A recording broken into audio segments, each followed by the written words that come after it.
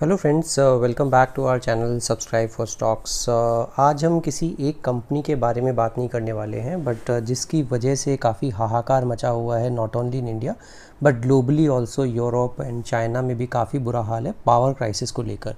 और power uh, crisis में I am sure that somebody is gain is somebody is loss तो वो तो हमेशा ही रहता है। तो इसी पर हम आज पूरी बात करेंगे और कौन से स्टॉक्स इसमें uh, इसमें कुछ बेनिफिट्स होंगे उनको इस इंटायर सिचुएशन से और कि कौन सी कंपनीज़ हैं जिनको लॉस होगा या कौन से सेक्टर को लॉस होगा वो भी हम बोल सकते हैं। तो उसके ऊपर हम बात करेंगे। But before we start this video I would request all of you to subscribe my channel and hit the bell icon and अगर आपको कुछ स्पेसिफिक क्वेरीज़ uh, हैं और uh, कुछ स्पेसिफिक स्टॉक uh, पर आप बात करना चाहते हैं तो प्लीज़ मुझे वो भी सजेस्ट कीजिएगा। और अगर आपको कुछ ऐसा लगता है जहाँ पर मुझे वीडियो बनानी चाहिए तो वो भी मुझे आप सजेस्ट ज़रूर कीजिएगा। So let's quickly start with the power crisis तो पावर क्राइसिस हो क्यों रहा है उसका हम समझेंगे और uh, अगर आप बात करेंगे तो इंडिया का जो टोटल इलेक्ट्रिसिटी आउटपुट है उसको 70 परसेंट जो कंट्रीब्यूशन आता है वो आता है कोल से।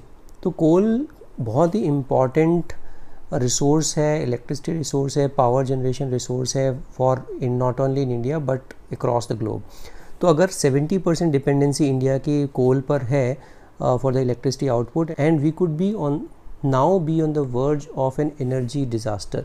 वो ऐसा क्यों कह रहे हैं? वो हम आगे समझेंगे कि हम uh, डिज़ास्टर के एकदम वर्ज पर पहुँच चुके हैं।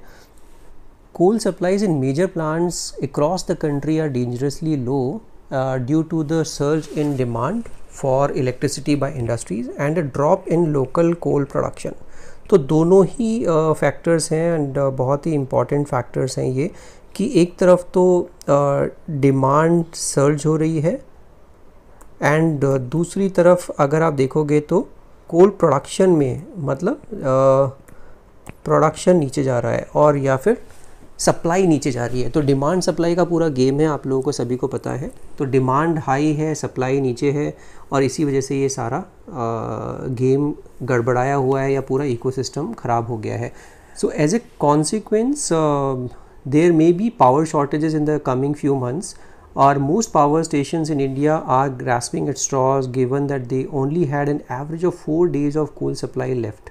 चार दिन की कोल सप्लाई बची है most of the power stations में एट द एंड ऑफ़ सितंबर तो ये बहुत ही प्रिकेरियस सिचुएशन है this is the lowest in years obviously इतना कम किसी के पास नहीं कोल रहता था और गवर्नमेंट की गाइडलाइंस के अकॉर्डिंग भी अगर आप बात करेंगे तो एटलीस्ट दो वीक्स का सप्लाईज होना चाहिए सभी पावर स्टेशन के पास, जो कि अभी बचा है सिर्फ़ चार दिन का। दो India is the second largest producer and consumer of coal in the world it is not alone in facing this such a severe coal crunch other countries like China and Europe तो जैसे बताया था China और Europe में भी same situation हो रही है।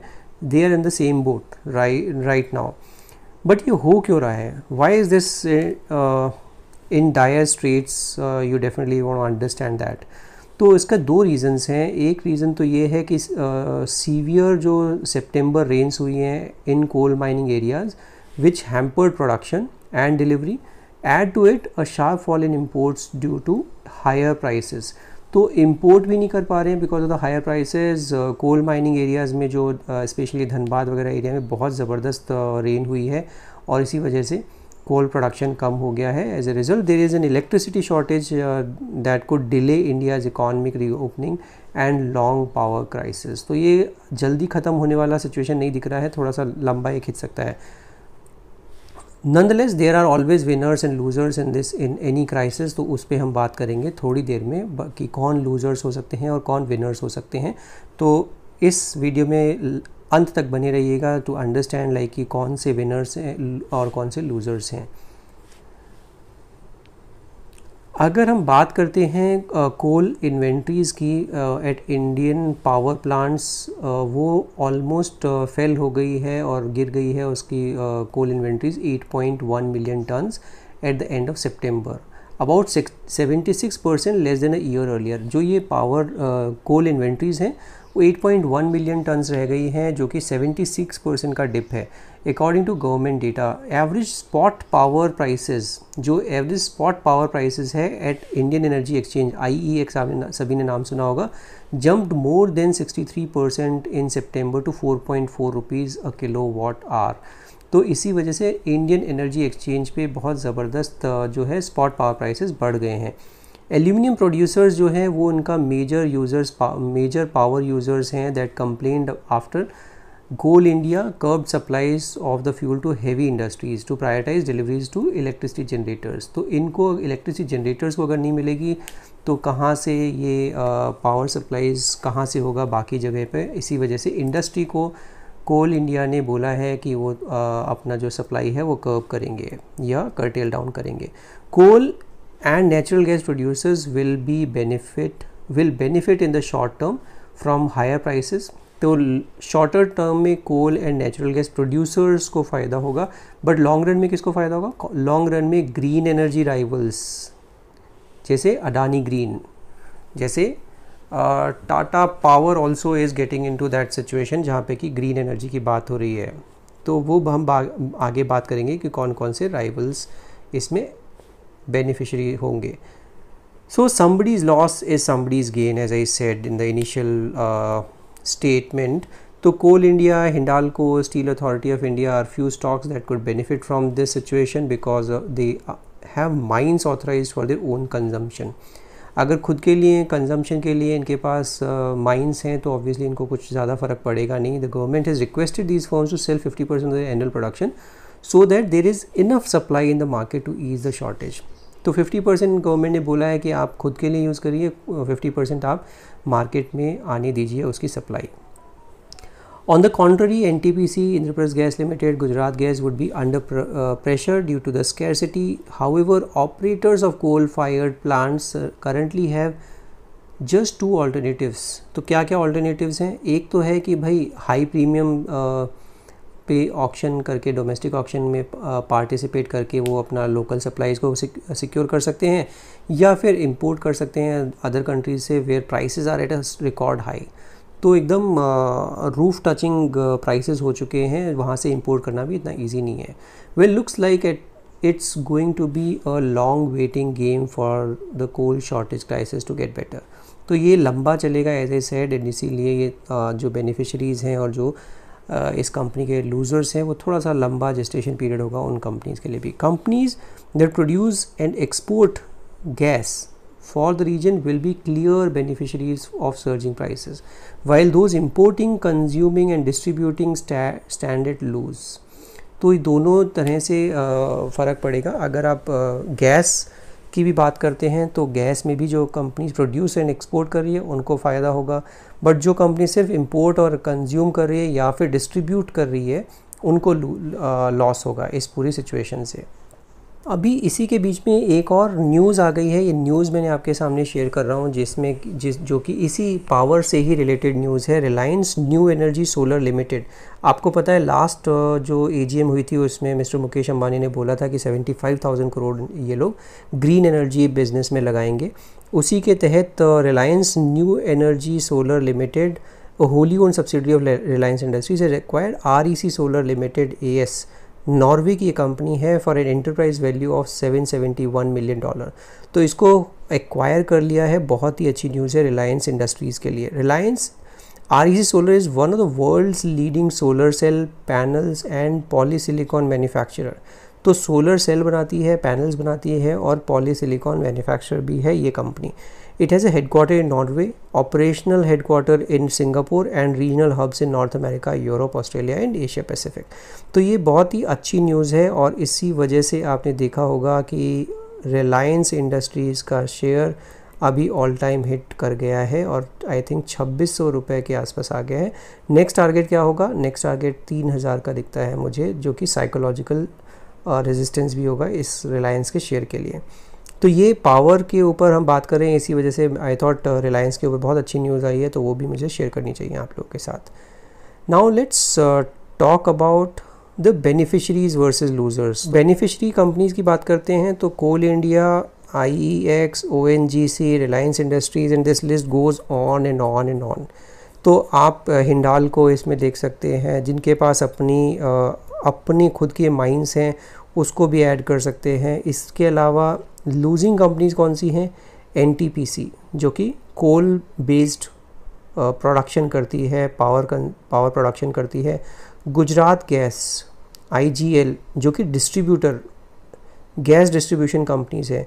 पेट्रोनेट एल ये इंपोर्ट करती है एल तो मैंने क्या बताया था कि जो कंपनीज़ इंपोर्ट करेगी, जो कंपनीज़ डिस्ट्रीब्यूट करेगी, उनको प्रेशर रहेगा बिकॉज़ जो फ़ीड स्टॉक है उनका, वो काफ़ी हाईली प्राइज्ड है इस टाइम पर और इम्पोर्ट करना इज़ नॉट दैट ईजी और इतना ईजीली आप आगे एंड कस्टमर को भी पास ऑन नहीं कर पाते हैं। इसी वजह से इन सारी कंपनीज़ को अपना थोड़ा थोड़ा बिज़नेस और मार्जिनस कॉम्प्रोमाइज़ करनी पड़ेंगी। तो ये आप ध्यान रखिएगा कि जो मार्जिनस हैं, वो थोड़ा सा डिप हो जाएँगे इन कंपनीज़ के लिए। यहाँ पर जो है आई e की बात करें, ज़बरदस्त परफॉर्मेंस दिया था अभी फ्राइडे के सेशन में भी।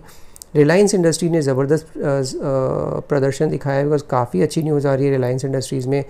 और इसमें आप लोग अगर बने हुए हैं तो बने रहना चाहिए। आने वाला टाइम बहुत ही अच्छा दिखता है रिलायंस इंडस्ट्रीज़ का भी।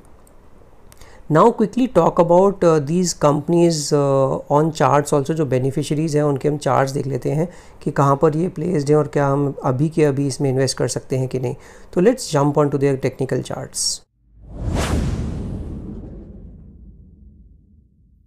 तो ये मैं आपको लेके आ गया हूँ आई e के चार्ट पर। आई e का चार्ट आपको देख के बहुत ही बेहतरीन चार्ट दिखेगा बिकॉज़ यहाँ पर जब इसने साढ़े चार सौ रुपये के आसपास एक बहुत अच्छा ब्रेकआउट दिया था, उसके बाद इसने पलट के पीछे नहीं देखा है और हायर टॉप्स हायर बॉटम बनाता जा रहा है ये। और अगर आप ये देखेंगे कि इसने जो फ्राइडे के सेशन में जो एक बुलिश कैंडल बनाई है, बहुत ही ज़बरदस्त बुलिश कैंडल बनाई है और अगर किसी को लेना है तो अभी थोड़ा सा स्टीम स्टीम अप हो रखा है ये स्टॉक और गुड थिंग इज़ कि वॉल्यूम के साथ मूव कर रही हैं चीज़ें। ऐसा नहीं है कि ड्राई वॉल्यूम है और उसके बावजूद भी ये कंपनी के शेयर्स में आग लगी हुई है तो वॉल्यूम्स बहुत ज़बरदस्त हैं इस टाइम पर और इसी वजह से ये स्टॉक आने वाले फ्यूचर में बहुत ज़बरदस्त काम करने वाला है बिकॉज़ पावर क्राइसिस इतनी जल्दी ख़त्म नहीं होगी और इसके अलावा गवर्नमेंट ने भी एक और स्कीम लेके आए हैं गवर्नमेंट पावर सेक्टर को बूस्ट करने के लिए, जहाँ पर कि गवर्नमेंट जहाँ पर कि लॉन्ग पावर परचेज एग्रीमेंट्स करने की ज़रूरत नहीं होगी और वो स्पॉट प्राइस पर आप एनर्जी रिक्वायरमेंट्स किसी भी प्लेटफॉर्म पर ट्रेड करके ले सकते हैं। तो ये भी बहुत अच्छी खबर है इस सेक्टर में और हर तरफ़ से अच्छी खबरें आ रही हैं। किसी को अगर लेना है तो छः सौ दस रुपये छः सौ नौ रुपये के आसपास का स्टॉप लॉस ज़रूर लगा के रखें। ये जो स्टॉप लॉस है, ये इसका ट्वेंटी डी एम ए का स्टॉप लॉस है और अगर किसी को एंट्री करनी है तो एंट्री प्राइस जो है सबसे बेहतरीन प्राइस होगा, वो यहाँ पे होगा 650 के आसपास। अगर 650 के आसपास किसी भी बुरे दिन में मिल जाता है आपको ये स्टॉक तो आप वहाँ पर एंट्री कर सकते हैं। 650 60 के आसपास अगर कभी बुरे दिन में मिलता है, वो आप ज़रूर लेके रखिए और 610 का स्टॉप लॉस लगा के रख सकते हैं। तो ये बात हो गई इंडियन एनर्जी एक्सचेंज के बारे में। अब हम ओएनजीसी के चार्ट पर देखते हैं। ओएनजीसी के चार्ट पर स्टॉक कैसा दिखता है? ओएनजीसी के चार्ट ने भी बहुत ही बेहतरीन एक ज़बरदस्त तरीके से ये अपवर्ड मोमेंटम शो कर रहा है। और अगर आप देखेंगे तो इसने एक बहुत अच्छा ब्रेकआउट दिया था। वो दिया था hundred and forty nine rupees पे। Hundred and forty nine rupees का आप स्टॉप लॉस लगाकर इसमें एंट्री कर सकते हैं। और जितना ये आस हंड्रेड एंड फोर्टी नाइन के आसपास आपको मिलता है, एक सौ पचास के आसपास मिलता है, वहाँ पे आप ले, लेने की चेष्टा कर सकते हैं और हंड्रेड एंड फोर्टी नाइन का स्ट्रिक्ट स्टॉप लॉस ज़रूर लगा के रखिए। वॉल्यूम्स काफ़ी अच्छी हैं, इस टाइम पर अच्छे से ये वॉल्यूम के साथ ऊपर जा रहा है। अभी हाँ हालाँकि एकदम अपने हाई से ज़रूर नीचे आया है, एक सौ इकसठ रुपये पर बंद हुआ है, क्योंकि एक तो आरएसआई भी एकदम शॉर्टअप हो गई है इसकी और अगर आप बात करेंगे कि इसने एक शूटिंग स्टार पैटर्न भी बनाया था और इसी वजह से थोड़ा सा इसमें वीकनेस दिखती है। बट बहुत hundred and forty nine rupees का एक बहुत अच्छा सा इसका एक सपोर्ट लेवल है। तो आप वो ध्यान में रखिए और आप उसमें पोजीशन बना सकते हैं। कोल इंडिया पर भी बात कर लेते हैं कि कोल इंडिया कहाँ पर दिखता है चार्ट पर। कोल इंडिया का जो चार्ट है वो बहुत ज़बरदस्त अभी उछाल दिखाया है, ऑफ़ लेट बिकॉज़ बहुत ही कम चलता है, ये बहुत स्लो चलने वाला स्टॉक है। सो कोल इंडिया में अगर आपको पोजीशन बनानी है तो आप ज़रूर बना सकते हैं बट 191 के ऊपर ही इसमें पोजीशन बनाइएगा बिकॉज़ 191 जो है, इसका 200 वीकली वीकली ईएमए है। तो अगर जो वीकली ईएमए तोड़ के ऊपर निकलता है, क्योंकि ये बहुत रेजिस्टेंस का काम करेगा इस, इसके स्टॉक के लिए 191 191 निकाल के कन्विंसिंगली ऊपर ट्रेड करता है तो उस वक्त आप लीजिए, थोड़ा महँगा ज़रूर आपको लगेगा कि अच्छा नीचे आए तो मिल तो हम ले लें। बट मुझे लगता है 191 पे अगर आपको मिल जाता है, वहाँ पर आप पोजीशन बना सकते हैं with the stop loss of 188 189 तो बहुत ही छोटा सा स्टॉप लॉस होगा और गेन करने के लिए नेक्स्ट जो इसका मेरे को पड़ाव दिखता है, वो पड़ाव दिखता है, जो इमीडिएट पड़ाव है 200 और उसके बाद 250 तक भी ये स्टॉक जा सकता है। 225 तक जा सकता है। First is two twenty five two twenty and उसके बाद ये two twenty five two twenty five से मूव करके टू फिफ्टी तक भी जा सकता है। बट एक ही शर्त है 191 का अगर इसने अपना रेजिस्टेंस तोड़ा तो। 191 बहुत ही ज़बरदस्त इसका एक रेजिस्टेंस है जो कि 200 ईएमए है, वो आप बिल्कुल ध्यान रखिएगा। और अगर ये तोड़ता है और कन्विंसिंगली ऊपर चलने लगता है तो कोल इंडिया में भी आप एंट्री बना सकते हैं। So this is like these are like the few companies few stocks where in the companies will definitely gain from this entire power crisis and Reliance Industries का चार्ट देखने की ज़रूरत नहीं है। रिलायंस इंडस्ट्री का चार्ट बहुत ही बेहतरीन है। आप अगर बने हुए हैं तो बने रहिए। इसमें से डिस्क्लेमर्स ये ज़रूर है कि इसमें मेरे पास ऑलरेडी आई uh, मेरे पोर्टफोलियो में है और इसके अलावा रिलायंस इंडस्ट्रीज़ भी मेरे पोर्टफोलियो में शुमार है। इन दोनों ही पोर्टफोल इन दोनों ही चार्ट इन दोनों ही कंपनीज़ मैं मैं बहुत बुलिश हूँ और इसी वजह से मैंने इनको रखा हुआ है अपने पोर्टफोलियो में। So this is it for today's video अगर आपने अभी तक मेरा चैनल सब्सक्राइब नहीं किया तो फटाफट मेरा चैनल भी सब्सक्राइब कर डालिए और बेल आइकन दबाना बिल्कुल मत भूलिएगा। Thank you so much for watching this video will see in the next video